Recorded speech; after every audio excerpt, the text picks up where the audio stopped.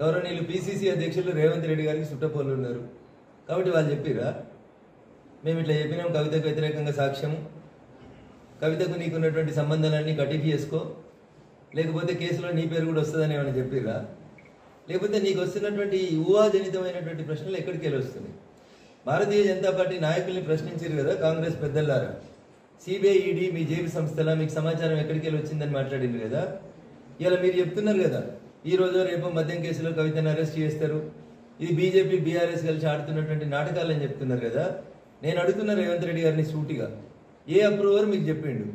ఏ approver అన్నా నేను కవితకు వ్యతిరేకంగా సాక్ష్యం చెప్పినా కవిత రేపు అరెస్ట్ అవుతుందని ఏ అప్రూవర్ అన్నా చెప్పిండా? లేదా అప్రూవర్లంతా మీకు బంధువులా? లేదా ఈరోజు ఈడీ మీ జేబు సంస్థగా లేదా ఈడీలో ఉన్న అధికారులు ఎవరైనా మీకు సమాచారం ఇస్తున్నారు అనేది మీరు చెప్పాల్సి ఉంటుంది. చెప్పినటువంటి మాట ఏంది? పట్టపగలు. అడ్డగోలుగా ప్రపంచం అంతా చూస్తుండగా దొరికిన దొంగ రేవంత్ రెడ్డి అని నేను అంటలేను ఈ రాష్ట్ర ముఖ్యమంత్రి స్వయాన చంద్రశేఖరరావు గారు చెప్పినటువంటి మాట. నేను అడుగుతున్న ముఖ్యమంత్రి గారిని ఒకవేళ కాంగ్రెస్కి మీకు మధ్యలో ఉన్నటువంటి బంధం విడదీయరాని బంధం కాకపోతే మీరు అధికారంలోకి వచ్చి ఈ కేసు జరిగి ఎనిమిది సంవత్సరాలు పూర్తి అవుతుంది ఈ దాకా కేసుల విచారణ ఎందుకు జరుగుతలేదు? ఈ కేసులో సాక్ష్యాలు ఆధారాలు ఎందుకు ముందుకు పోతలేవు?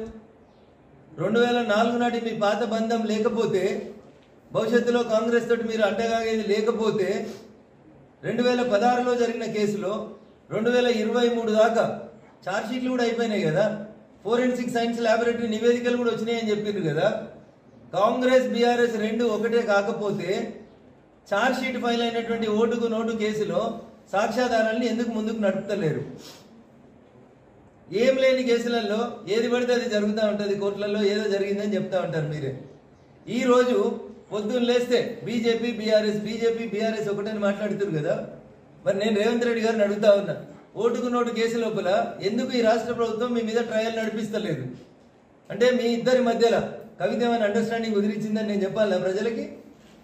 లేదా మీరు కవిత వ్యాపార భాగస్వామిగా గతంలో పనిచేసిరని దినపత్రికలలో చదివిన మాట రేవంత్ రెడ్డి గారు నాకు తెలియదు. కాబట్టి దాని ఆధారంగా ఏమైనా మీ కేసు పెండింగ్లో పెట్టించిరా ఇట్లా ఊహాజనితమైనటువంటి వార్తల్ని చెప్పి ఏదో తెలంగాణ ప్రజలారా ఆలోచించురి నేను కూడా చెప్తున్నా తెలంగాణ ప్రజలను ఆలోచించమని. రెండు వేల పదహారులో జరిగి ప్రపంచమంతా చూస్తుండగా పట్టపగలు దొరికిన దొంగ రేవంత్ రెడ్డి అని ముఖ్యమంత్రి గారు స్వయంగా ప్రకటించిన కేసులో ఈ రోజు దాకా ట్రయల్ ఎందుకు నడుస్తలేదో చెప్పుండ్రి అంటే వచ్చే ఎన్నికల తర్వాత ఇప్పుడు నేను కొట్టినట్టు చేస్తా మీరు ఏడిచినట్టు చేయండి ఎట్లాగో నీకు మెజార్టీ రాదు నాకు మెజార్టీ రాదు. తర్వాత ఎన్నికలు అయిపోయిన తర్వాత కాంగ్రెస్ బీఆర్ఎస్ రెండు కలిసి రాష్ట్ర ప్రభుత్వాన్ని ఏర్పాటు చేసుకుందాం. ఈ రాష్ట్రంలో భారతీయ జనతా పార్టీ ప్రభుత్వం అధికారంలో రాకుండా ఉండడానికి అడ్డుకుందామనే రేవంత్ రెడ్డి మాట మాట్లాడుతున్నాడు. చంద్రశేఖరరావు గారు మౌనంగా ఉంటున్నారు. ఎందుకు ముఖ్యమంత్రి గారు మౌనంగా ఉన్నారు? మీ నోట్లోంచి వచ్చిన ముత్యాలని నేను కావాలంటే వీడియో కూడా ప్రజెంట్ చేసి చూపిస్తా. స్వయాన ముఖ్యమంత్రి నోట్లోంచి వచ్చినటువంటి మాటలే ఈ రాష్ట్రంలో శాసనం కాకపోతే ఈ రాష్ట్రంలో అమల్లోకి రాకపోతే ప్రజలు ఏమనుకోవాలో ఒకసారి ఆలోచించుకోవాలి. కవితను అరెస్ట్ చేస్తాయి ఈ మాటలు ఎందుకు వస్తున్నాయి కాంగ్రెస్ పెద్దల నోట్లోంచి? అంటే వెనకటికి వీళ్ళు కనిమూలిని రాజాని అరెస్ట్ చేసినప్పుడు ఎన్నికల కంటే ముందు ఇట్లే డ్రామాలు ఆడిరా సిబిఐకి ఈడీకి చెప్పి మీరే కనిమూలిని రాజాని అరెస్ట్ చేయించిరా అచ్చా ఏక్ బాయికు దూసరా బాయికి బాయి పైచాంతా అని మీరు చేసిన లంగ పనులే ఇప్పుడు ఉన్నటువంటి ప్రభుత్వం కూడా చేస్తుందని మీరు అనుకుంటున్నారా?